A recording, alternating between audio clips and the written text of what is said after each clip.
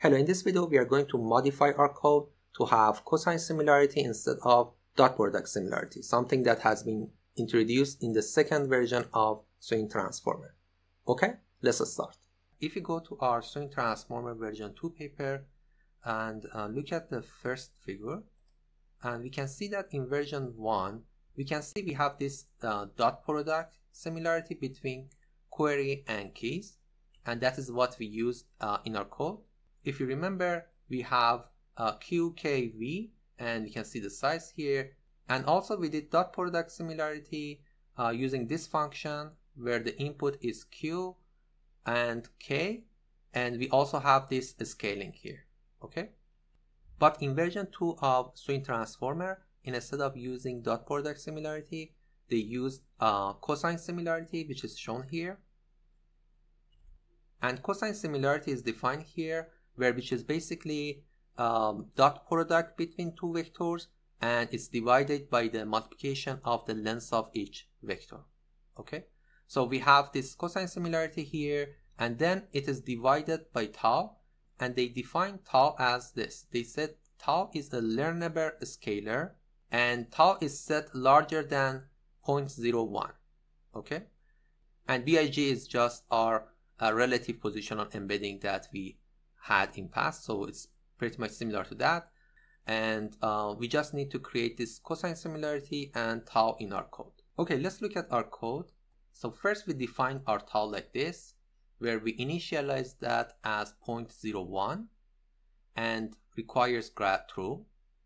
And uh, then we have our QKV and this time instead of just uh, doing the dot product this time we are going to use cosine similarity and our cosine similarity is again a dot product but before we conduct a dot product we are normalizing q and k. So here first I normalize q with respect to the last dimension and also normalize k with respect to last dimension. So the last dimension of each one of them is this d that is here, that 32. That's what matters to be normalized. So for example, here you can see in our uh, function, so I have bhwid dot product to bhwjd it's gonna give me bhwij. So we are basically multiply this dimension, the d, to this d. So each one of them needs to be normalized. And after we normalize them and we have this uh, dot product, then we divide that by that tau value that we just defined here and that is a learnable value. And then we just add our positional embedding like pass we send that inside the softmax and then uh, we multiply that to the value. So the rest is just similar as dot product similarity. The only difference is this section.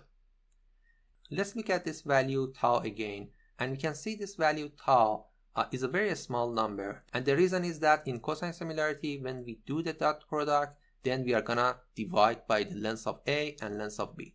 And because of that the value of the cosine similarity is smaller than the value of dot product similarity. So to compensate that we are going to divide that with a small number. The other point is that mentioned tau is set larger than 0.01 so I wasn't sure uh, why it should be larger or smaller. And in the code I just uh, initialize that with this value. So maybe you could uh, decide to do something different and uh, make a limit on that to make sure that is always greater than 0.01 but for now uh, for this code I just initialize that with 0.01 here. Okay? And uh, also we had this uh, Q and K normalized we can take a look at one uh, numerical example to see uh, how we are doing this normalization. Let's look at that in our code. Okay, let's consider this numerical example where I have this tensor A and we can print A and we can see its size. And also I'm gonna normalize A uh, with respect to its uh, last dimension.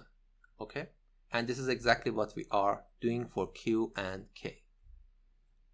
And if you look at the definition of this uh, function that we are using for normalize, we can see that uh, here uh, this p is just by default 2 and that is the exponent value in the norm formulation. So using the second norm for the length of the vectors in our cosine similarity. Okay, so we have that one p2 and dimension is minus 1. Let's run this. Okay, we can see our tensor A that's defined here, uh, which size of that is uh, 3 by 3 by 2. So you could imagine that, for example, uh, we could have multiple different like batch size or number of windows, anything else. But the last one is that uh, embedding size or D that we want to normalize based on that. So now we are normalizing that based on the last uh, dimension and this is what we get. With the same size, but this time with respect to the last dimensions that is normalized. So you can see, for example, this is the first vector which is normalized, the second one normalized, the third one is normalized. So you can see the second one and the third one are similar because in the original uh, matrix that is 2 2 and 1 1 okay and so on so by using this function we should be able to normalize q and k okay let's now modify our window attention class to include cosine similarity. The first thing that we need to add is to initialize tau that as we explained that's uh, we are going to put the requires grad true because this is a learnable parameter okay?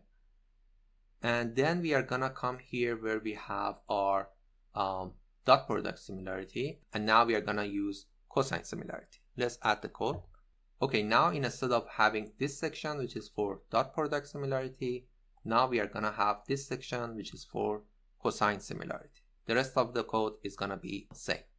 So I can comment out dot product similarity for now and now we should be able to run the code and see the result